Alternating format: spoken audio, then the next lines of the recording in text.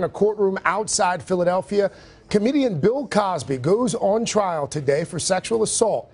He's accused of drugging and molesting a woman more than a dozen years ago. NBC's Stephanie Gosk is in Norristown, Pennsylvania. Stephanie, good morning to you. Hey, good morning, Craig. Day one, Bill Cosby faces three charges of aggravated indecent assault, each one of them carrying up to 10 years of time in prison as well as a $25,000 fine. Now, as you know, Cosby's been accused by dozens of women of drugging them and then engaging in unwanted sexual contact. He has denied all of those charges. But this case, this criminal case, is about just one incident and one woman. Andrea Constand says that in 2004, while at the comedian's home, he gave her a pill that incapacitated her and then he molested her.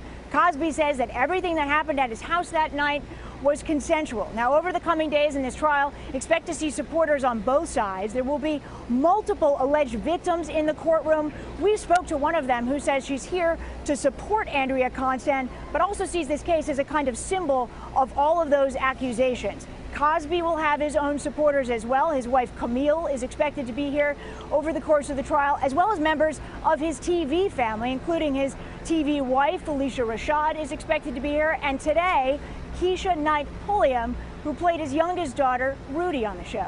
Craig? Stephanie Gosk for us in Norristown. Stephanie, thank you. Hello, Today fans. Thanks for checking out our YouTube channel. Subscribe by clicking that button down there and click on any of the videos over here to watch the latest interviews, show highlights, and digital exclusives.